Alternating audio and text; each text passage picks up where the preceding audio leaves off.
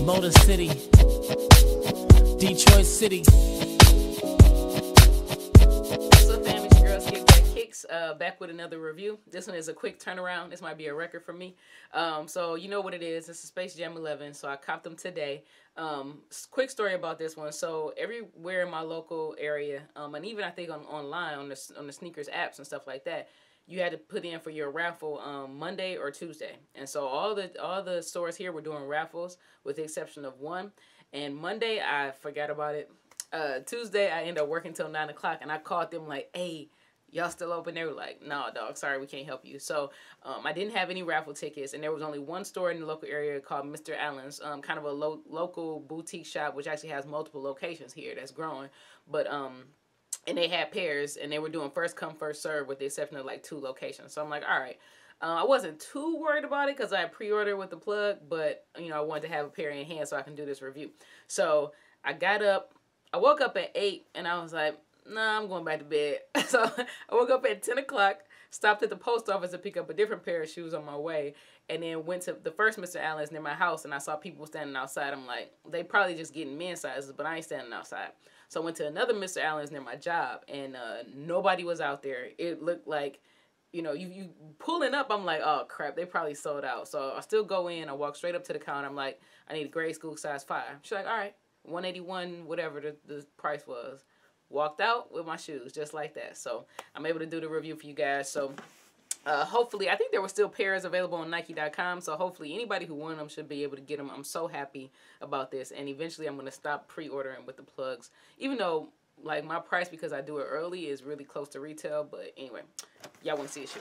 So the official name and colorway is Air Jordan 11 Retro Boys Grade School Black Concord and white, and I got these in the five. Told you guys I'm starting to do size five now.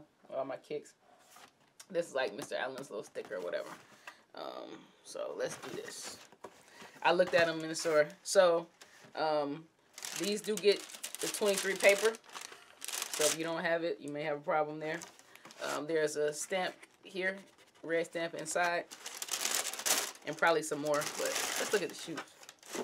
Um, these are quite nice. I gotta tell you. Um, I didn't understand for a long time why people went so crazy about this over the Space Jams, but it's really just a beautiful, clean shoe. So there you go. It's your Space Jam 11 grade school. Um, I do want to do a quick comparison to see like how I don't think so. Everybody says like the patent leather is going to be higher or whatever, like it was back in the day. It doesn't seem to me to be that much higher. Maybe that's just a difference between grade school and men's. But I heard a lot of people even talking about the men's pairs. Like it's not that much higher where you're gonna really notice it. Uh, one thing you'll notice is you see the white uh, kind of cut marks from um, the patent leather, which is different. Um, they also said to expect peaks, which is interesting because most of the time for grade school sizes we get peaks anyway, and oddly enough, we really don't have any. I don't have any on this shoe. Um, let me look at the, the other shoe. Nah, not really any peaks. Um, so y'all tell me, you know, for everybody else who got their pairs, if you guys have any peaks. But there's a shoe, man. It's still beautiful. So you have um, your kind of icy blue um, outsole.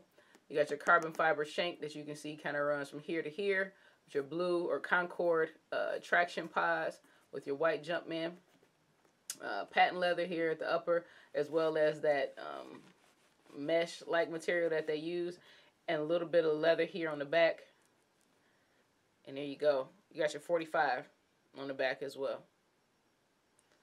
Um, third spacing, you have your Jumpman Jordan right there. Um, so a lot of people were talking a lot about the 45 on the back versus the 23.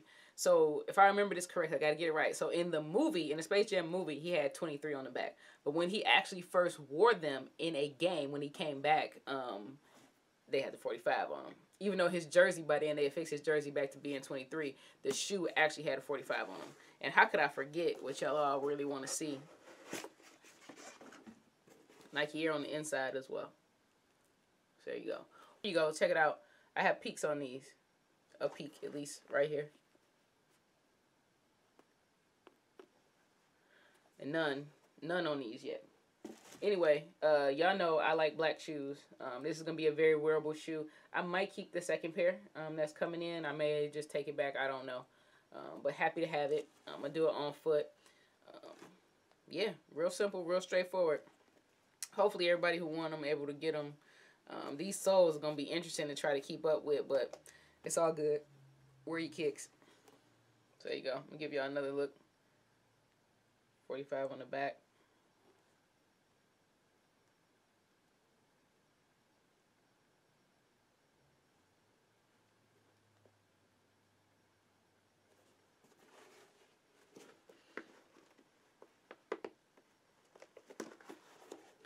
If you take out the insole,